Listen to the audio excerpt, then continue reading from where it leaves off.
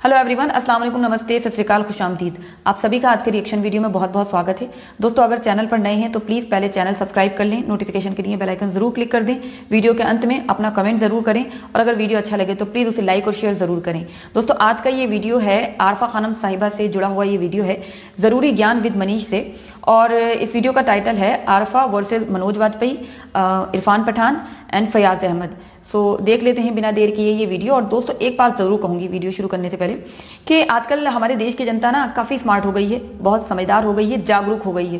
क्योंकि पहले क्या होता था बड़ा ही आसान होता था बेवकूफ़ बनाना एक बहुत बड़ी आबादी को। लेकिन अब लोग समझते हैं अगर कोई उनको ऐसे बैठकर और उल्टे सीधे डेटा और फैक्ट्स रख के और जिसका कोई कहीं पर कोई आधार नहीं होता और ऐसे करके और पत्रकारिता के नाम पर ये सब कुछ करते आ रहे हैं तो अब लोग जो हैं वो खुलकर शामत लगा देते हैं। और यही हो रहा है, पत्रकारिता के नाम पर तो हम देखते ही हैं, पत्रकार कम लगते हैं पॉलिटिशियन ज़्यादा लगते हैं, उन्हीं में से एक ये भी मोहतरमा है।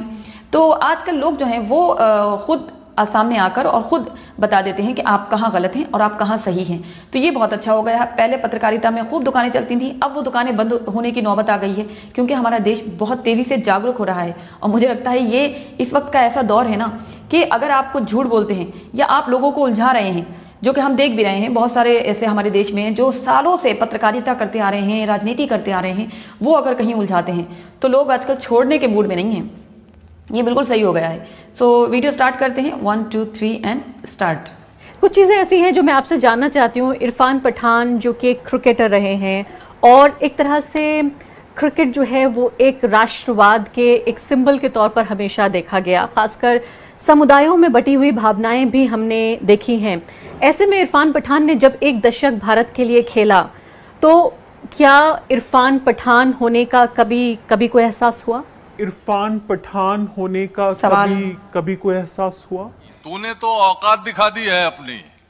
बिल्कुल एहसास हुआ। इरफान पठान होने का एक बाशिंदा होने का मुल्क का एक प्यारा बाशिंदा होने का बिल्कुल एहसास हुआ। बहुत प्यार मिला। हमेशा प्यार मिला। हमेशा इज़्ज़त मिली है। बिल्कुल ऐसा नहीं है कि इरफान पठान कौन है कहाँ से आता है। बस इतना प्यार मिला कि इरफान पठान आ रहा है पहली बॉल डाल रहा है पहले या दूसरी ओवर में विकेट निकाल रहा है हैट्रिक निकाल रहा है वर्ल्ड कप जीत रहा है। और सिर्फ़ प्यार मिला है। एग्जैक्टली यही आ रहा होगा उनके माइंड में कि गाली हाँ, क्यों नहीं दे रहे हिंदुओं सिर्फ़ नाराज़गी तभी मिली है जब इंडिया हारी है। पैसा बर्बाद मुझे दूसरे तरीके से पूछते हुए इसी सवाल को। मैं दूसरे तरीके से फंसाती हूँ पूछना चाहती हूँ कि पिछले पाँच छः साल में जो सामाजिक और राजनीतिक बदलाव हुए हैं, जिसमें खासकर जिस तरह का एक भारत बनाया जा रहा है, क्या मनोज वाजपेयी उस भारत से सहमत हैं? क्या जो वो आइडिया ऑफ़ इंडिया है, उसके साथ जो आपका भारत के नाम का विचार है, जो आपका आइडिया ऑफ़ इंडिया है, क्या वो मेल खाता है? या आपको तकलीफ़ होती है? आपको लगता है कि वो भारत नहीं है, वो भविष्य नहीं है जहाँ आप रहना चाहते हैं? अगर आप मुझसे पूछ रहे हैं what is my idea of India the amalgamation of the the ancient India with the modern India that is my idea of लेकिन क्या उस फ्रीडम पे आक्षेप आया है? क्या वो फ्रीडम जिसका हम ज़िक्र करें? कुछ लोग तो ये कह रहे हैं कि ऐसा लग रहा है फ़िलहाल कि भारत का भविष्य लोकतांत्रिक होगा भी या नहीं इसमें भी शक है लोगों को कि जिस दिशा में मैं कोई एक्सपर्ट तो नहीं हूँ लेकिन पता नहीं क्यों मुझे लगता है कि इस देश का प्रजातंत्र कहीं नहीं जाने वाला है। हम्म। मैं बहुत ही होपफुल हूँ और पता नहीं लोगों को क्यों डर लग रहा है। देखिए हर चार साल में पाँच साल में चुनाव होते हैं जिसको डर लगता है वो सरकार के खिलाफ में चुनाव चुनाव में उतर जाए। बिल्कुल सही बात है भाई जिसको डर लग रहा है उतर जाओ खिलाफ। कैसी लगी? आगे स्वाद। आपको दूसरे सवाल एक और पूछना चाहती हूँ वो ये कि क्या फ़िल्मों के ज़रिए राजनीति हो रही है? फ़िल्मों के ज़रिए? ज़रिए। जिस तरह की फ़िल्में बनाई जाए चाहे वो पद्मावत हो या वो खिलजी के ऊपर फ़िल्म हो या फिर जिस तरह की फ़िल्में बन रही हैं पुराने ऐतिहासिक जो हैं वो निकाल कर जिसे उन कालों को लेकर जहाँ पे एक खास समुदाय को आप निशाना बना सकते हो।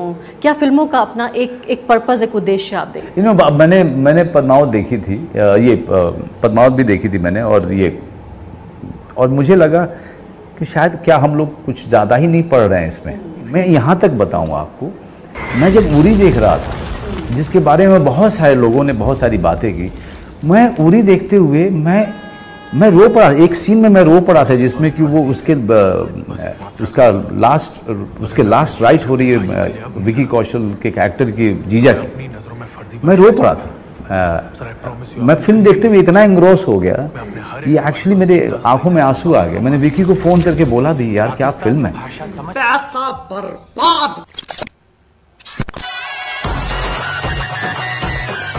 अभी अरफा जी कह रहे थे कि भारत जैसे देश में, अब जैसे का उनका क्या मतलब है, हम उसमें फिर बाद में आएँगे। लेकिन एक इतना बेहतरीन और इतना सुंदर देश है कि सामाजिक न्याय को बहुत अच्छे से यहाँ स्टेब्लिश किया गया मैं ये नहीं कहता कि पूरा जो है, हमारा जो उद्देश्य था, हमने हासिल कर लिया है। जो मुस्लिम समाज को जो लीड करते हैं, जो अशराफ वर्ग है, मैं बिल्कुल स्पष्ट रूप से बात करता हूँ। वो हिंदू समाज के सोशल जस्टिस में उसकी बड़ी दिलचस्पी होती है। उसको लगता है कि आप सवर्ण लोग, दलितों को बहुत सता रहे हैं। पिछड़ों को बहुत सता रहे हैं। लेकिन यही अशराफ वर्ग अपने नट, अपने कलमा पढ़ने वाले, ला इला मोहम्मद रसुल्ला पढ़ने वाले, नट, धोबी, हलाल खोर, मेहतर, भंगी, कुंजर, कसाई की बात कभी नहीं करते हैं। अजमी कहते हैं ये ये हम लोगों को, अपने को अरबी ईरानी कहते हैं। अजमी का मतलब होता है गूँगा। ये इन्होंने क्लासिफिकेशन ऐसा किया कि हम भारतीय मुसलमानों को गूँगा कहते हैं।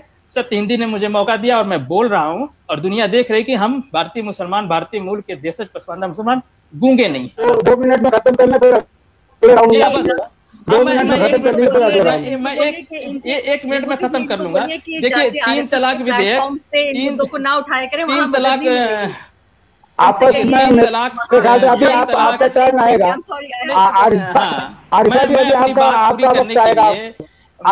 हाथ जोड़ के कहता हूँ कि मुझे अपनी बात पूरी करने के लिए दो मिनट का समय दे दीजिए बाकी मैं आपके हर सवाल का जवाब दे दूँगा। जी मैं आपके लोगों के हर सवाल का जवाब दूँगा बहुत तैयारी से हूँ। तो दोस्तों देखा आपने ये थी मोहतरमा आरफा खानम शेरवानी। जो कि मैंने देखा है कि अब इनका ये चीज़ ज़्यादा हो गई है कि बार बार यही कहती हैं कि एक समुदाय को निशाना बनाया जा रहा है एक समुदाय के साथ ऐसा हो रहा है। ये कभी दोनों पक्षों की बात नहीं करती हैं। हालाँकि ये पत्रकार हैं इन्हें दोनों पक्ष दिखाने चाहिए लेकिन ढूंढ ढूंढ कर उन्हीं जगहों पर जाती हैं कि जहाँ पर मतलब कि ये किस तरह की पत्रकारिता है कि ये एक पक्ष दिखाती है कि जहाँ पर एक पक्ष के साथ कोई आ, आ, कोई जुर्म हुआ हो या उनके साथ कोई नाइंसाफी हो गई हो।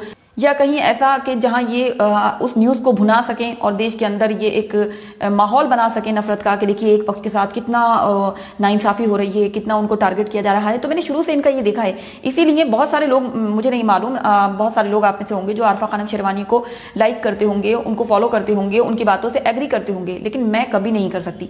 क्योंकि मैंने बहुत इनका देखा है इस तरह से, एक आध नहीं। बहुत ज़्यादा इनकी चीज़ें ऐसी देखी हैं जिसमें ये साफ़ तौर पर केवल और केवल एक ही पक्ष को उलझाकर और उनको उनको भी उलझा रही हैं, उनको भी भड़का रही हैं मतलब ये मुस्लिम समाज का ऐसा दिखाती हैं, उनको भी उलझा रही हैं, उनको भी सही तस्वीर नहीं दिखाती हैं देश की। और दूसरे पक्ष को उनके खिलाफ नफरत नफरत भर रही हैं ये।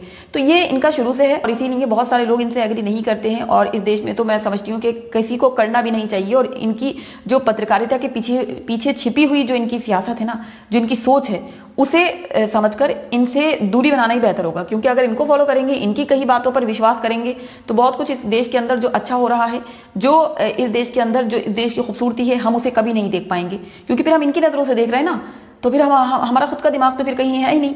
और बड़ा ही मुझे हैरानी होती है कि इस तरह की सवाल करती हैं और उलझाती हैं।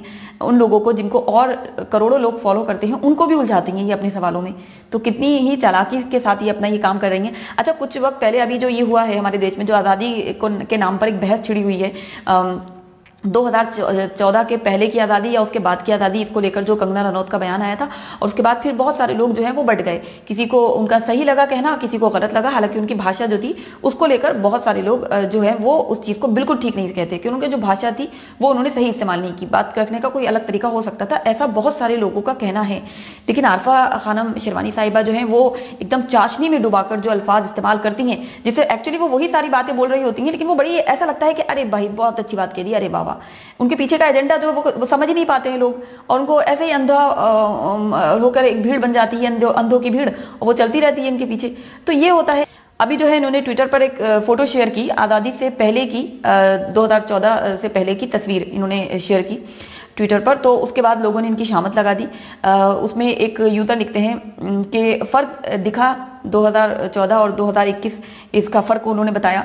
उसमें एक यूज़र पल्ले भी लिखती हैं कि 100 परसेंट एग्री करते हुए वो लिखती हैं कि इंस्टेंट ट्रिपल तलाक से आज़ादी जो कि इस्लामिक नेशंस में बैन थी, चाहे आप सऊदी अरब देख लें, पाकिस्तान देख लें, बांग्लादेश देख लें यहाँ पर ट्रिपल तलाक नहीं होती थी उस पर रोक थी लेकिन हमारे देश में धड़ल्ले से हो रहा था ये आ, ये गुना और उस पर रोक लगी तो उन्होंने साफ़ तौर पर इस, इस चीज़ को जताया आरफा खानम शेरवानी को कि हाँ हाँ आज़ादी तो मिली है।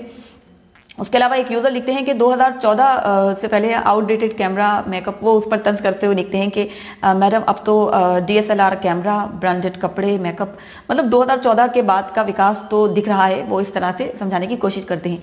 एक और यूज़र लिखते हैं कि, और कितना विकास चाहिए भाई? विकास भारद्वाज नाम के एक यूज़र लिखते हैं कि आपको तो सिर्फ़ मोदी जी का विरोध करना आता है।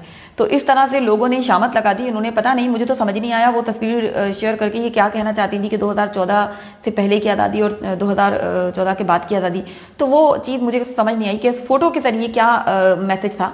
लेकिन लोगों को समझ आया तो उन्होंने अपने अपने तरह से जो था, इनको जवाब दिया और काफ़ी हमने देखा कि वहाँ पर इसी तरह के बहुत सारे जवाब थे जो कि बता रहे थे कि 2014 और 2021 और पहले का भी फ़र्क।